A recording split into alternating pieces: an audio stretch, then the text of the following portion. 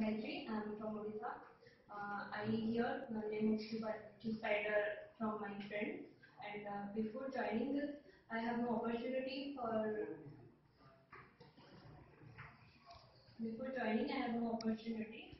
Uh, after joining this, I attended two interviews and I got selected in one, uh, which is Serum, System. Uh, this is a VLSI um, company, um, the faculty members of the Spider are uh, very uh, friendly and uh, they, the teaching process is very nice. Uh, thank you Prakash sir and uh, Pradeep sir.